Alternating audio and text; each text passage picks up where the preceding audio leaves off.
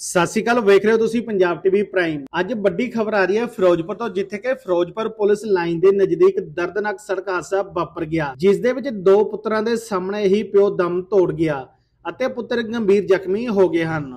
ਮਿਲੀ ਜਾਣਕਾਰੀ ਦੇ ਅਨੁਸਾਰ ਮ੍ਰਿਤਕ ਸਾਰੇ ਸਿੰਘ ਉਮਰ ਕਰੀਬ 45 ਸਾਲ, ਬਾਸੀ ਪਿੰਡ ਜੋਧਪੁਰ, ਜੋ ਐਮਪੀ ਦੇ ਵਿੱਚ ਮਸ਼ੀਨ ਨਾਲ ਕਣਕ ਦਾ ਸੀਜ਼ਨ ਲਗਾਉਣ ਲਈ ਗਿਆ ਹੋਇਆ ਸੀ ਅਤੇ ਅੱਜ ਜਦੋਂ ਉਹ ਕਾਫੀ ਦਿਨਾਂ ਬਾਅਦ ਘਰ ਵਾਪਸ ਆ ਰਿਹਾ ਸੀ, ਜਿਸ ਨੂੰ ਰੇਲਵੇ ਸਟੇਸ਼ਨ ਤੋਂ ਮੋਟਰਸਾਈਕਲ ਉੱਤੇ ਲੈ ਕੇ ਉਸਦੇ ਦੋ ਪੁੱਤਰ ਘਰ ਵਾਪਸ ਜਾ ਰਹੇ ਸਨ, ਤਾਂ ਜਦੋਂ ਪੁਲਿਸ ਲਾਈਨ ਦੇ ਨਜ਼ਦੀਕ ਪਹੁੰਚੇ ਤਾਂ ਸਾਹਮਣੇ ਤੋਂ ਆ ਰਹੀ ਇੱਕ ਮਹਿੰਦਰਾ ਪਿਕਅਪ ਨਾਲ ਉਹਨਾਂ ਦੇ ਮੋਟਰਸਾਈਕਲ ਦੀ ਟੱਕਰ ਹੋ ਗਈ, ਜਿਸ ਦੌਰਾਨ ਸਾਰੇ ਸਿੰਘ ਦੀ ਮੌਕੇ ਉੱਤੇ ਮੌਤ ਹੋ ਗਈ ਅਤੇ ਦੋਨੋਂ ਲੜਕੇ ਗੰਭੀਰ ਰੂਪ ਦੇ ਵਿੱਚ ਜ਼ਖਮੀ ਹੋ ਗਏ ਜਿਨ੍ਹਾਂ ਨੂੰ ਫਿਰੋਜ਼ਪੁਰ ਦੇ ਸਿਵਲ ਹਸਪਤਾਲ ਦੇ ਵਿੱਚ ਦਾਖਲ ਕਰਵਾਇਆ ਗਿਆ ਹੈ। ਜਿੱਥੇ ਉਹ ਦੋਵੇਂ ਜੇਰੇ ਇਲਾਜ ਹਨ। ਦੂਸਰੇ ਪਾਸੇ ਮੌਕੇ ਉੱਤੇ ਪਹੁੰਚੀ ਪੁਲਿਸ ਨੇ ਮ੍ਰਿਤਕ ਸਾਰੇ ਸਿੰਘ ਦੀ ਲਾਸ਼ ਨੂੰ ਕਬਜ਼ੇ ਦੇ ਵਿੱਚ ਲੈ ਕੇ ਫਿਰੋਜ਼ਪੁਰ ਦੇ ਸਿਵਲ ਹਸਪਤਾਲ ਵਿਖੇ ਪੋਸਟਮਾਰਟਮ ਲਈ ਭੇਜ ਦਿੱਤਾ ਹੈ ਤੇ ਪੁਲਿਸ ਵੱਲੋਂ ਬਿਆਨਾਂ ਦੇ ਆਧਾਰ ਉੱਤੇ ਅਗਲੀ ਕਾਰਵਾਈ ਕੀਤੀ ਜਾ ਰਹੀ ਹੈ। ਫਿਰੋਜ਼ਪੁਰ ਤੋਂ ਪੰਜਾਬ ਟੀਵੀ ਪ੍ਰਾਈਮ ਦੇ ਲਈ ਅਮਨ ਦੀ ਰਿਪੋਰਟ। ਸ਼ੁਭਮ ਜੀ।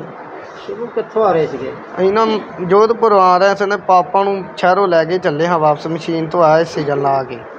ਹਾਂ ਸ਼ੇਰਸ਼ਾਹ ਵਾਲੀ ਤੋਂ ਬਾ ਕੇ ਖੜਿਆ ਸੀ ਉਹਨੂੰ। ਤੇ ਮੋੜ ਮੁੜ ਕੇ ਤੇ ਅਸੀਂ ਮੱਠਾ ਕੀਤਾ ਮੋਟਰਸਾਈਕਲ ਤੇ ਗੱਡੀ ਵਾਲੇ ਨੇ ਜ਼ੋਰ ਨਾਲ ਵਿੱਚ ਲਿਆ ਕੇ ਮੋਟਰਸਾਈਕਲ ਮਾਰ ਤੇ ਗੱਡੀ ਮਾਰ ਕਿੱਧਰੋਂ ਆ ਰਹੀ ਸੀਗੀ? ਗੱਡੀ ਇਧਰੋਂ ਆ ਰਹੀ ਸੀ ਜ- ਜਲਾਲਾਬਾਦ ਨੂੰ। ਕੀ ਤੇਜ਼ ਰਫ਼ਤਾਰ ਸੀਗੀ? ਹਾਂ ਗੱਡੀ ਦੀ ਤੇਜ਼ ਰਫ਼ਤਾਰ ਸੀ। ਤੁਸੀਂ ਕਿੱਦੇ ਤੇ ਸੀਗੇ? ਅਸੀਂ ਮੋਟਰਸਾਈਕਲ ਤੇ। ਕਿੰਨੇ ਜਣੇ? ਸੀ? ਤਿੰਨ ਜਣੇ। ਤੇ ਤੁਹਾਡੇ ਚ ਮਾਰੀ ਆ ਕੇ ਤੇਜ਼ ਰਫ਼ਤਾਰ? ਹਾਂ, ਕਿੰਨੇ ਤੇ- ਜਣੇ ਜ਼ਖਮੀ ਹੋ ਗਏ? ਤਿੰਨੇ ਜ਼ਖਮੀ ਹੋਏ। ਭਰਾ ਨੂੰ ਵੀ ਸੱਟ ਲੱਗੀ ਹੋਈ ਮੇਰੇ ਭਰਾ ਦੀ ਵੀ ਲੱਤ ਟੁੱਟੀ ਪਾਪਾ ਦੀ ਡੈਥ ਹੋ ਗਈ।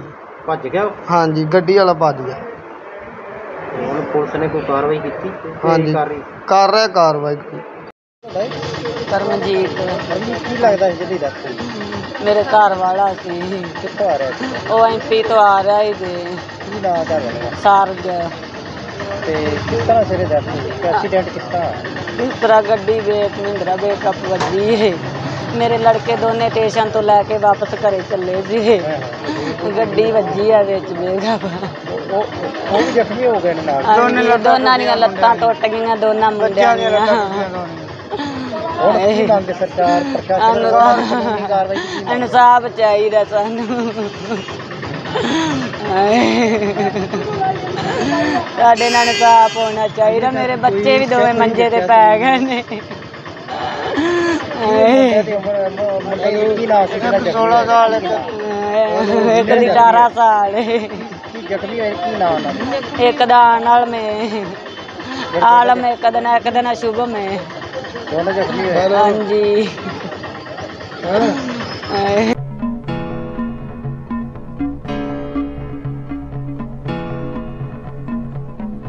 ਤੁਹਾਨੂੰ ਜਾਣ ਕੇ ਖੁਸ਼ੀ ਹੋਵੇਗੀ ਕਿ ਤੁਹਾਡੇ ਆਪਣੇ ਸ਼ਹਿਰ ਨੰਗਲ ਦੇ ਵਿੱਚ ਅਮੋਲ ਕਾਲੀਆ ਪਾਰਕ ਦੇ ਲਾਗੇ ਆਰ ਕੇ ਹਸਪਤਾਲ ਦੇ ਵਿੱਚ 24 ਘੰਟੇ ਮਾਹਿਰ ਡਾਕਟਰਾਂ ਦੀ ਦੇਖਰੇਖ ਦੇ ਵਿੱਚ ਸਿਹਤ ਸੁਵਿਧਾਵਾਂ ਦਿੱਤੀਆਂ ਜਾ ਰਹੀਆਂ ਹਨ।